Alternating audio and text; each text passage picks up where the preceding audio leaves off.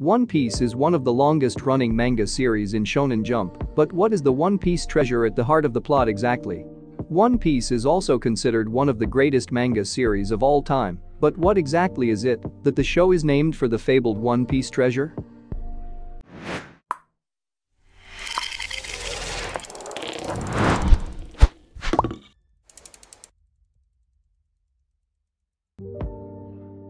In his quest to become king of the pirates, One Piece, designed by author Eiichiro Oda, follows a young man called Monkey D. Luffy. And from there, only a stranger gets the premise. Luffy decides to join a pirate crew after being inspired to go out to sea by his pirate hero, red-haired Shanks, and to make his way to the top. By being the king of pirates, Luffy and his crew face plenty of One Piece characters who would stand in their way as captain of the Straw Hat Pirates.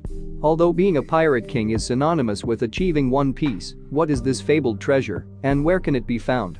The One Piece was discovered by Gol D. Roger, the former pirate king, right before he was executed.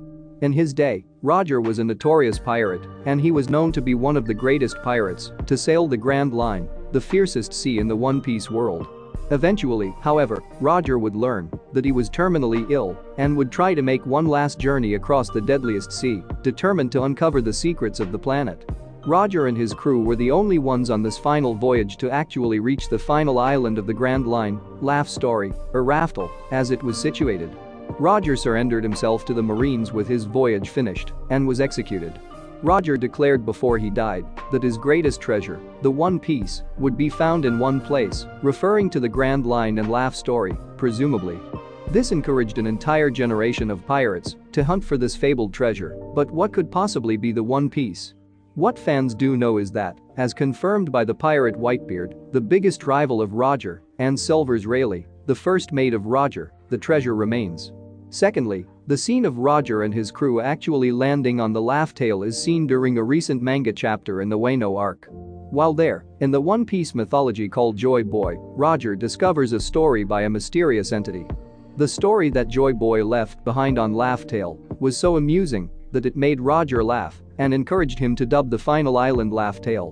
While it is not yet understood, it can be inferred that the story of Joy Boy is also in some way related to the One Piece. Also, considering that this treasure is sought by even the most formidable pirates in the world, including Big Mom and Kaido, the emperors of the sea, essentially the great bosses of the Grand Line, this treasure must be prominent or powerful enough to merit such attention. Although it is unclear the exact nature of the One Piece itself, there are many theories about the One Piece existence. There are many stone figures called poneglyphs in the One Piece world, written in an ancient language known only to a few. With the Rio poneglyph said to hold the complete history of the world engraved upon it, each of these stones carries fragments of long-forgotten history. It is unclear where the Rio poneglyph is found, but it may very well be part of the mystery of One Piece.